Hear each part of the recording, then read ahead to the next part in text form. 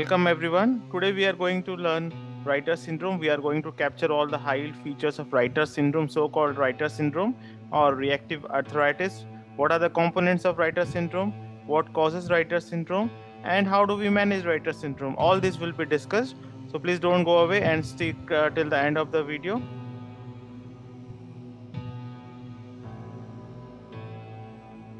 Reactor syndrome, Reiter syndrome, reactive arthritis what is Reiter syndrome? It is triad of arthritis, and there is uh, urethritis or cervicitis, which is caused by non-gonococcal species. So gonococcal should be excluded, and also there is conjunctivitis. So the triad causes can't see, can't pee, and can't climb the tree. So there are three. These are the three cardinal manifestations of Reiter syndrome. So arthritis and uh, urethritis or cervicitis and conjunctivitis. These are the key features of Reiter's syndrome. It's an autoimmune reaction triggered by the prior infection of some kind of a genitourinary or gastrointestinal tract infection. The organisms implicated are chlamydia, Shigella, Salmonella, Yersinia, Campylobacter. These are the important organisms that could be implicated in the causation of Reiter's syndrome.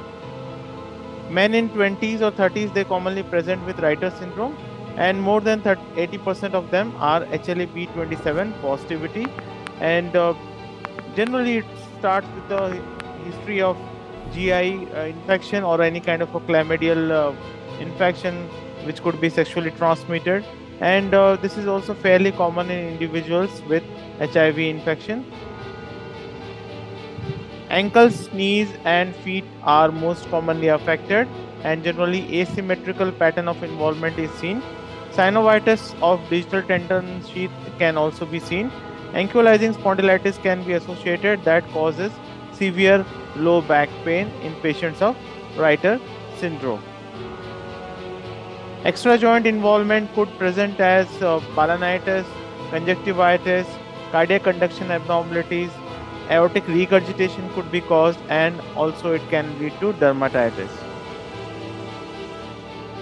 So there is a swelling of uh, finger toes, there are hemorrhagic and keratotic spots, there is balanitis and there is conjunctivitis. These are the cardinal features of Reiter syndrome or reactive arthritis. How do we treat? Antibiotics to treat the infection Non-steroidal anti-inflammatory drugs to curtail inflammation. Corticosteroid uh, could also be used for the same purpose. And immunosuppressive therapies like methotrexate are also useful to curtail inflammation. So quick recap. Uh, it is consisting of autoimmune reaction, arthritis, urethritis, uh, and conjunctivitis. Chlamydia, Shigella, Salmonella, Yersinia, Campylobacter are the common organisms. NSAID, steroid, immunosuppressants, antibiotics are commonly used for a treatment of the patient. So thank you and see you in the next video.